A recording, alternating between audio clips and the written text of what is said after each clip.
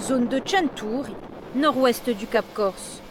Aujourd'hui, les douaniers cherchent à repérer le bateau d'un patron pêcheur spécialisé dans l'espadon et le thon. Ils veulent vérifier que le professionnel respecte les quotas imposés par l'Europe.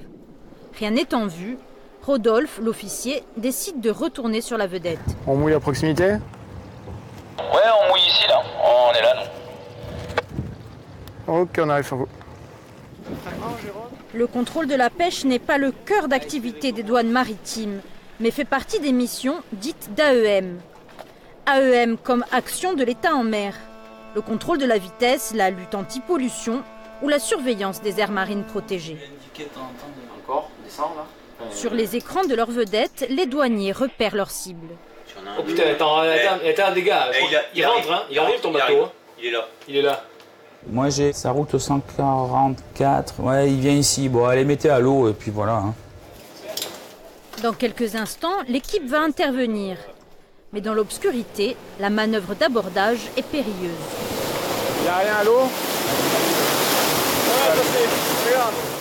Bonjour, c'est la douane. On va monter à bord pour un contrôle. Vous allez sur Tchentouri Ouais. Ok. Vous avez rien de spécial à déclarer au service de la, de la douane? Non, non. Vous n'avez pas, vous avez pas de thon, alors, du coup. alors. Pardon Pas de thon Non, non, non. Première chose à faire, contrôler les prises.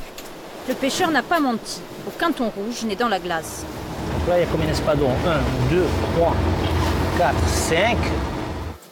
Contrôle terminé, rien à signaler sur la licence de pêche ou sur la taille des poissons.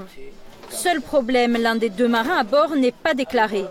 Moindre mal, le patron pêcheur en sera quitte pour un procès verbal et une convocation auprès des affaires maritimes. Après, il justifie l'embarquement d'une troisième personne parce qu'en fait, il avait la main complètement, euh, complètement abîmée. Donc, il a, il, s'est- il a, il a pris quelqu'un au pied levé, comme ça, qu'il qu'il a connu, qui est, qui l'a embarqué. euh. Les douaniers, eux, n'ont pas le temps de souffler, la mission est tout juste terminée, qu'il faut déjà reprendre la mer. Direction Calvi pour une opération de contrôle fiscal le lendemain matin.